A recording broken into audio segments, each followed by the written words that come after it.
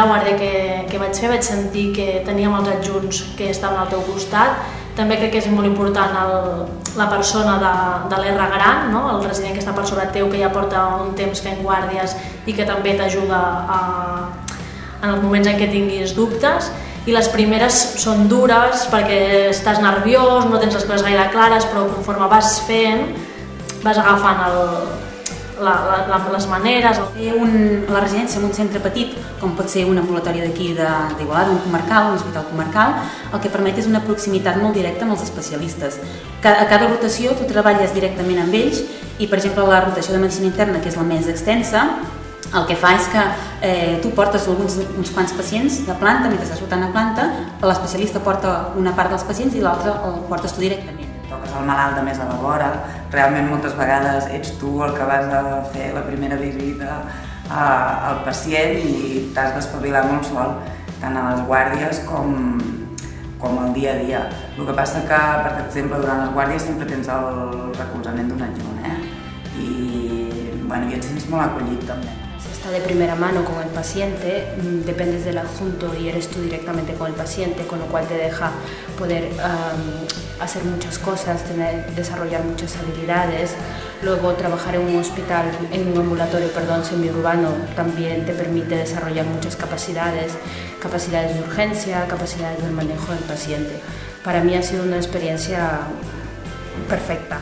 Puede manejar paciente crónico, darle seguimiento, ver niños en pediatría tiene la ventaja de valorar.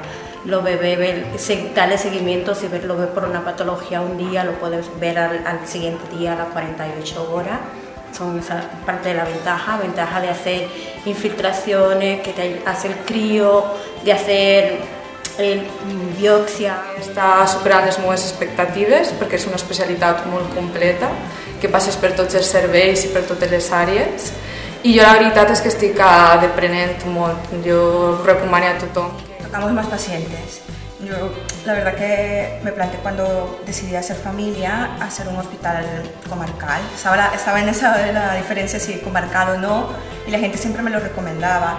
Y ahora me doy cuenta que es verdad, porque al ser residente, los únicos residentes, en el hospital no hay residentes de medicina interna, eres el que maneja los pacientes complicados o tocas todo.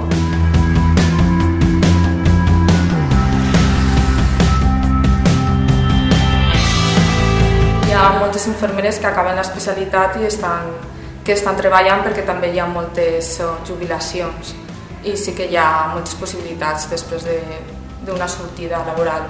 Todos los residentes que van terminando, todos, todos, todos, todos se han ido acomodando en las plazas que van quedando libres de jubilaciones o, o, o de movimientos de personal. Pero no hay residentes que no hayan, no hayan podido seguir trabajando. Todos están trabajando. Tots estan col·locats a la mateixa, o a la mateixa àrea bàsica on han, on han fet la residència o a la del costat. Todos mis compañeros de toda la promoción nos hemos quedado en ambulatorios de la comarca, con lo cual aquella amistad y aquel vínculo que se formó desde el inicio pues ha continuado. coincideixes amb altres eh, metges de primària, eh, junts, eh, i altres professionals, que una miqueta doncs, ja et veuen com treballes, eh, coincideixes amb ells, comences a interactuar amb ells i això fa que et coneguin i potser després, quan tu ja estàs acabant o estàs pròxim a acabar la residència, si hi ha alguna plaça, alguna vacant, poden pensar en tu. Están quedando plazas vacías ahora y depende el perfil que tengas, ya tanto en el hospital o en el ambulatorio, sí que hay posibilidades de poder trabajar posteriormente. sé que hi ha feina, vull dir que, que després tens oportunitats de treballar i mm, al principi potser sí que estàs així com més eventual i has d'anar per diferents llocs, però bueno, és bastant fixa, eh? jo crec que hi ha moltes oportunitats de trobar feina.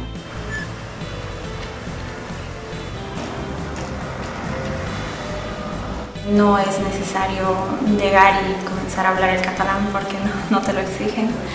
pero poco a poco uno va entendiendo y bueno, a medida que si heu animat també pots empezar a hablar-ne.